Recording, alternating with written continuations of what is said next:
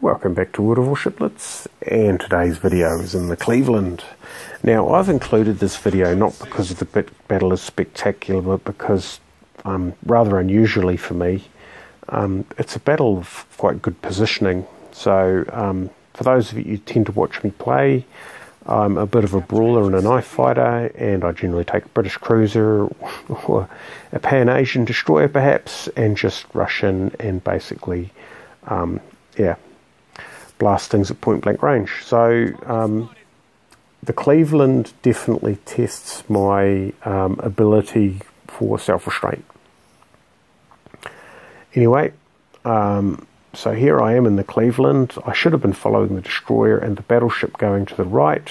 By the time I'd realised, it was sort of a little bit late, and so at this point, um, we've spotted a couple of destroyers ahead of us and if I follow those cruisers, that sorry, that destroyer, that battleship to the right, then um, I leave my carrier wide open. So I sort of have to stay here as a blocking force. So what I do is um, I load up AP, um, and I start to do the business of trying to sort out these destroyers. Now um, I'm slowing down here because as soon as they see me, they uh, usually attack. Um, start working on the enemy's um,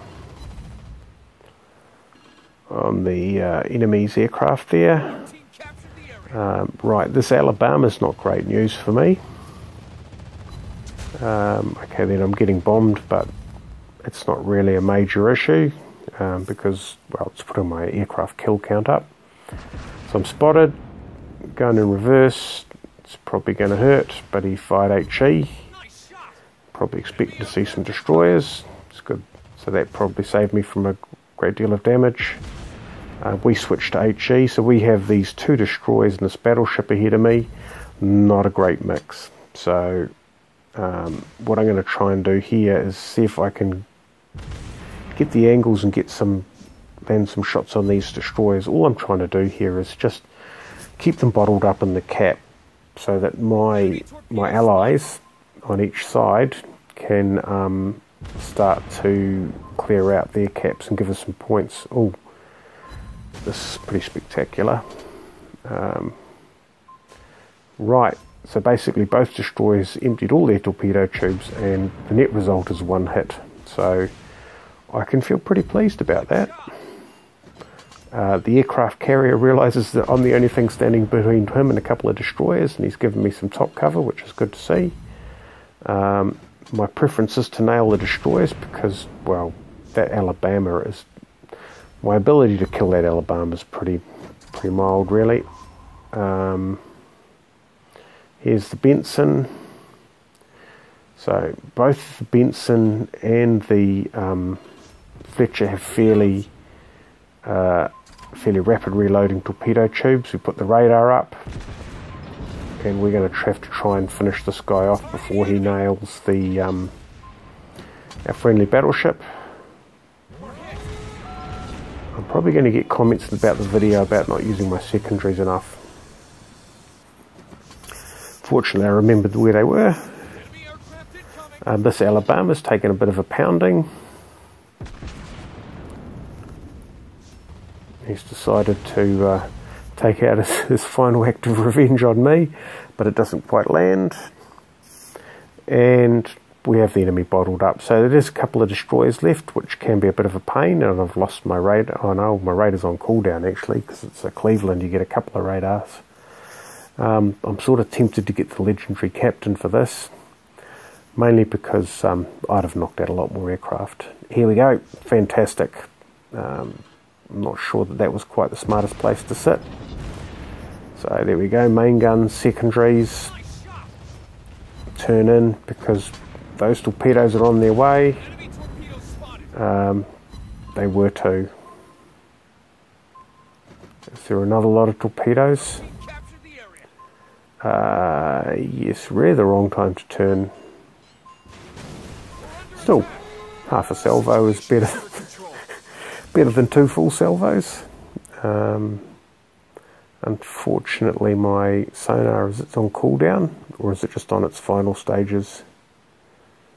Uh, anyway, we know he's lost us. There we go. It's back. It's a problem with the replay. Use the sonar. And that's a pretty clean sweep. So, okay, my score's 22,000, which is not particularly fantastic. However, um, I'm alive. and considering the fact that I was holding back in Alabama and uh, Fletcher and a Benson in the B cap single handed, I think that was a fairly good result. We don't know, I don't know where that last destroyer is, so I'll provide a bit of cover for the aircraft carrier because he provided a bit of cover for me earlier in Fair's Fair. But I suspect that that destroyer is basically keeping its points by heading off into the wilderness. Um, I'm not detected, so there's no point firing off my radar. Um, basically, if I'm not detected, there he is, well out of range, and uh, the battle ends. So, there's um, a Cleveland holding the centre while the um, while the Allies mop up the wings. I hope you found that uh, entertaining. I hope you found it maybe even slightly informative. Um, certainly, it's one of the battles in the Cleveland I'm more proud of because I am a. I do find that I have problems landing shots in the Cleveland because of those extremely high floaty arcs. Um, so, although the score is in the middle of the pack, I feel justified and feel pretty proud about that battle. 56 main battery hits, 14 secondary battery hits, meaning that I use my secondaries, which is pretty good for me on these types of ships. Oh, found the sound.